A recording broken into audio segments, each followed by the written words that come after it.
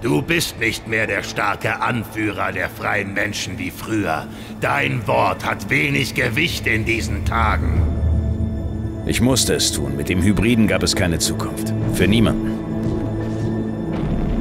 Die sechste Macht muss, wenn möglich, die größte Streitkraft der Menschen werden, damit ein Befreiungsschlag gegen die übermächtige Skynes gelingen kann. Die Kleinkriege der Menschen untereinander machen sie leider blind für die wahre Bedrohung. Wachen! Schmeißt ihn raus! Du bist keiner unserer Commander mehr.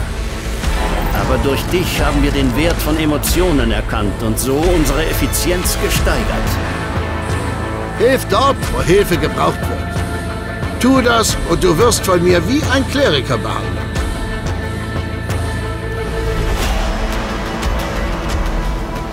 Ihn durch. Ich will zu Kaya.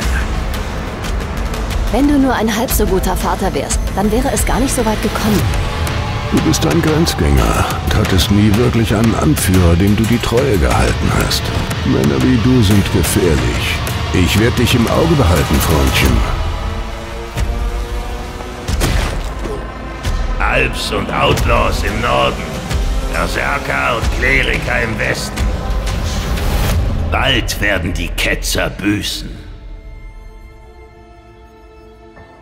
Geh und überzeuge sie davon, mit dir in den Krieg gegen die Skyans zu ziehen, bevor es zu spät ist. Bestie von Xakor. Nenn mich nie wieder so. Das ist Geschichte und schon viel zu lange her, um wahr zu sein.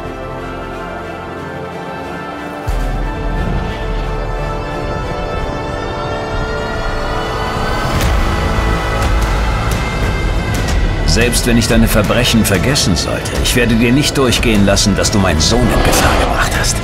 Dex hätte sterben können da draußen, wo du ihn hingeschleppt hast. Da ist es wieder. Die Verblendung. Der Irrweg, auf dem du dich befindest. Wach auf, Jax.